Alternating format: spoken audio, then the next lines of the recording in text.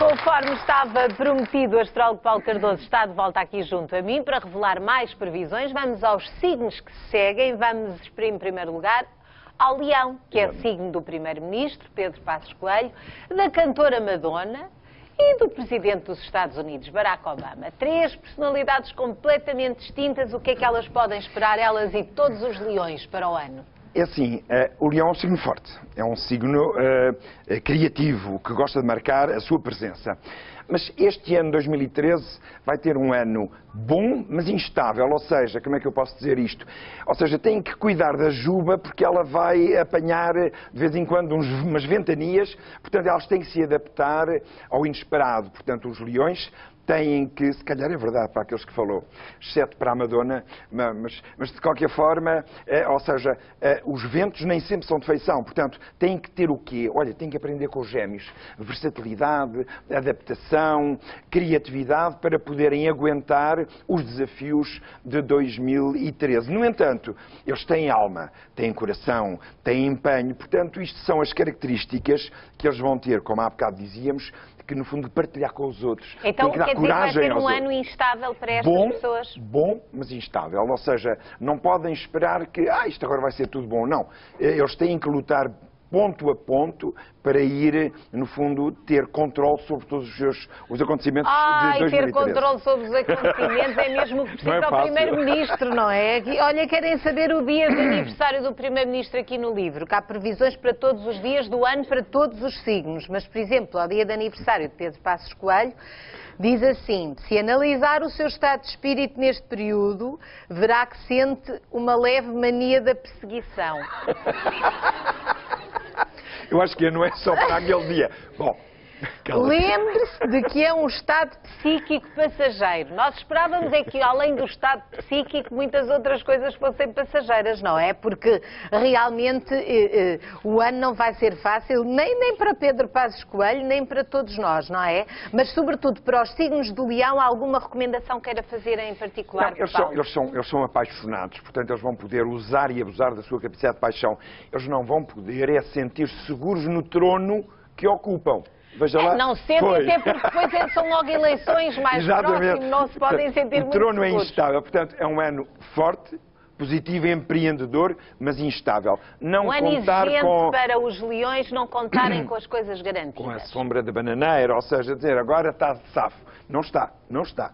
Tem que pedalar, não é? É verdade. Ora, vamos agora às previsões para as pessoas que são virgem, do signo virgem, como é o caso, por exemplo, não sei se sabem, do ator brasileiro Tony Ramos, da, da princesa Letícia de Espanha e do ator Sean Connery, um dos primeiros 007. Vamos lá, então, estas são três individualidades, mas com certeza que há muita gente ah, signo virgem? do signo virgem à espera das suas previsões. e que vão ser beneficiados. Atenção, virgens, há muitos anos que, o- que, vamos lá, que as previsões globais para os signos não eram tão positivas para o virgem. O que é ótimo, porque são gente trabalhadora, lutadora, nem sempre querem brilhar, portanto gostam mais de sentir que fizeram a sua missão, gostam de ser úteis, gostam de ajudar os outros e são ótimos organizadores. Pois bem, é justamente esta capacidade de organização, de método, alguma humildade que eles vão poder ajudar a passar aos outros. Ou seja,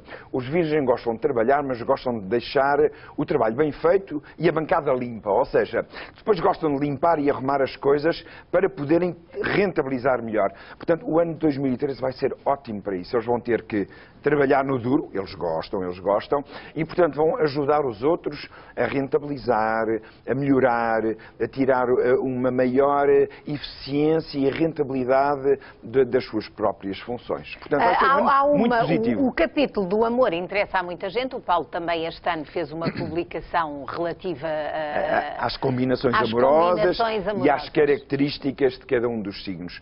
Quer que eu fale no signo de Virgem Amor? Se calhar eles querem, não é? Os que- quem, são os virgem aqui presentes? Ora, estão ali alguns interessados, uns cinco que eu já contei na nossa plateia. É assim, os virgens no amor eh, são muito cuidadosos. Eles não se atiram de cabeça.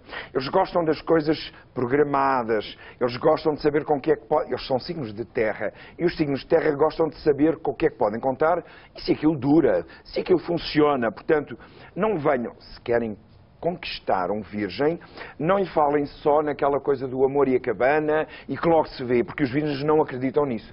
Eles têm que ver que as coisas funcionam, que é um signo prático, ou seja, o amor também tem que ser prático, tem que ser realizável. Portanto, fundamentalmente, se querem apaixonar e envolver um virgem, façam um projeto comum. Olha, vamos fazer isto, vamos trabalhar eh, naquele projeto e, e, depois o amor vem atrás. Ou seja, porque se o virgem vê que há uma, um relacionamento e, uma, e um contacto a nível do fazer, de, da organização, do método, etc., é a melhor maneira. E outra coisa muito importante para os virgens, os virgens têm a mania da higiene e da limpeza. Portanto, e da organização. E da organização. É? Portanto, uh, tudo bem lavadinho, bem perfumado, porque os virgens ficam logo meio com... Não gostam de confusões, Exato, nem de coisas nem... atabalhoadas. Exatamente. Ora, Ora, de seguida, Paulo, vamos para a balança. Também pode falar um bocadinho do amor de, de, em relação a todos a eles. Todos os outros. O signo de personalidades como uh, o homem do futebol Ricardo Sapinto, a atriz francesa Brigitte Bardot e o cantor romântico Júlio Iglesias. Muitos agora à espera, muitos balanços à espera das suas palavras.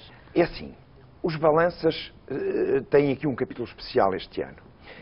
Quando se fazem previsões para os 12 signos, pode-se pecar porque nem sempre todas as pessoas que nasceram no mesmo signo têm um ano ótimo ou um ano péssimo.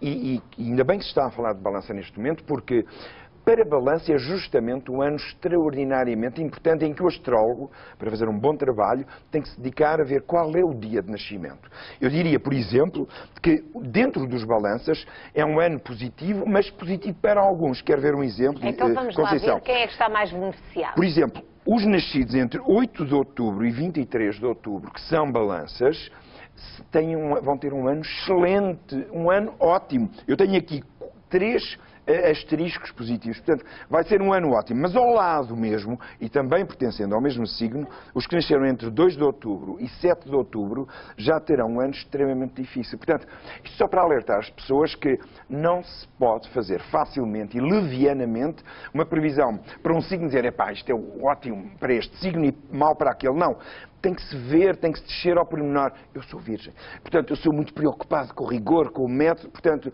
eu fiz uma série de cálculos que me levam a dizer isto. Portanto, para os balanças, eles têm que ter mais cuidado e ver o que é que eu escrevo mesmo, porque depende muito do dia de nascimento. Não posso dizer, portanto, para estes que são mais beneficiados, eles vão ter a vida na mão. Eles são o quê? românticos, apaixonados, gostam de sociabilizar. As paixões não podem ter relações secretas com balanças. Eles gostam de os apresentar aos amigos, à família, gostam de casamento, gostam da sociabilização do amor e são muito sensíveis àquilo que se lhes diz. Se, gente, eh, se uma pessoa é um bocadinho mais bruta, mais brusco a dizer qualquer coisa um balança, ele fica logo cheio de medo. Portanto, temos que ir com pezinhos de lã, porque eles também gostam de ir com pezinhos de lã. Portanto, não vão dizer, casas comigo? Não. Primeiro dizem, olha, eu vivo bem, eu tenho estabilidade. E depois, a pouco e pouco, vão enlevando a balança para aquilo que vocês querem atingir. Portanto, as coisas têm que ir com devagarinho, devagar, devagar se vai ao longe. Devagar se vai ao longe. Ora, segue-se segue o signo uh, uh, escorpião, que é o signo de quem? Imaginam, não estão a imaginar? É uma coisa que nos interessa a todos, porque é o signo do nosso Ministro das Finanças. É o signo de Vítor Gaspar e das atrizes Joana Santos e Julia Roberts. Ora, aqui personalidades distintas. Está toda a gente à espera de saber como é que vai ser como Ministro das Finanças. É assim. Se ele tem um bom ano e se isso nos atinge ou não. É assim. Eu, por acaso, até simpatizo muito com os escorpiões mas eu diria que eles são assim um bocadinho difíceis. Eles são duros de roer. Eles têm o tal agulhão. Portanto, eh, quando nós não fazemos as vontades deles, eles põem, eles tiram-nos o tapete debaixo dos pés. Portanto, isto para os outros que se relacionam com o escorpião. Mas vai ser um ano bom para os escorpiões. Porquê? Porque é um ano de resistência. E os, os escorpiões são corredores de fundo. Os escorpiões, eh, eh, eles são quase inabaláveis em relação a, às dificuldades que vão encontrando ao longo da vida. Eles são uh, fortes, resistentes. Uh, eu, muitas vezes eu ouço dizer dos escorpiões o seguinte: eles vão, têm um problema terrível para resolver, quase que não conseguem dormir, mas no dia seguinte parece está tudo novo. Ou seja, eles têm uma resistência e uma reabilitação, uma regeneração brutal. Portanto, vamos acreditar que a regeneração dos escorpiões para 2013 atinja uh, uh, os três, os três célebres e famosos de que falou. Portanto, é um ano positivo porque vai apelar, não é fácil, é positivo, mas com muita dureza e com muita resistência. Como eles são ótimos, como são heróis e muito conhecidos por causa dessa curiosidade, dessa, dessa coragem, dessa permanência, penso que vai ser um ano extremamente então, positivo. Então quer dizer que o, o, o ministro Vítor Gaspar vai, vai resistir, não é? Tem essa capacidade. Ele, ele nós regenera. Não é se nós resistimos ao ministro Vítor Gaspar. Uh, mas, mas mais coisas que queira partilhar aqui sobre, sobre o signo escorpião. Estávamos aqui a falar da tónica dos relacionamentos, do amor, alguma coisa em particular para assinalar para o, para o próximo ano? Ah, não. Para o escorpião? Sim. Bom, os escorpiões, aqui para nós, que ninguém nos ouve, eh, não são signos puramente amorosos no sentido idealista. Eles gostam de ver mais qualquer coisa. Ou seja, eles são signos, são pessoas muito atraídas pela profundidade de uma relação.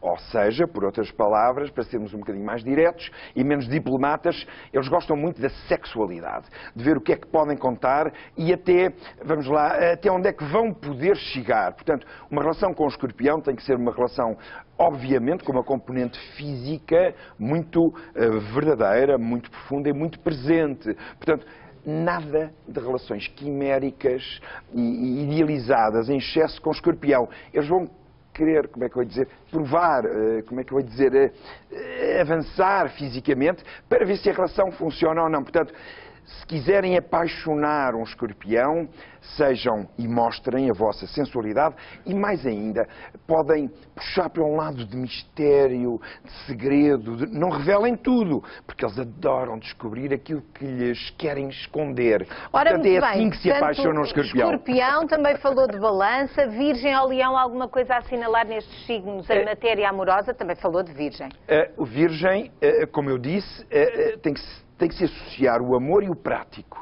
Portanto, no, no signo leão, é que eu tenho a impressão que os leões não tiveram esta parte não, amorosa Não, não foram contemplados. Conversa. É assim, para apaixonar um leão é preciso ter muito cuidado. Os leões não gostam de vulgaridade. Portanto, temos que lhes dar a ideia de que isto, isto, eu, sou um objeto raro. E eles aí ficam encantados, porque eles gostam de lutar pelo objeto amado, eles gostam do requinte e de tudo o que é raro. Nunca, mas nunca se pode dizer a um leão que já se teve 10 relações. Ou seja, não, eu não tive relação nenhuma. Eu, tu és o amor da minha vida. Portanto, porque eles gostam do raro. Se eles veem que aquela pessoa uh, já teve muitas aventuras, ele, ele, ele automaticamente afasta-se, porque ele gosta do raro, do difícil e do nobre e do requintado.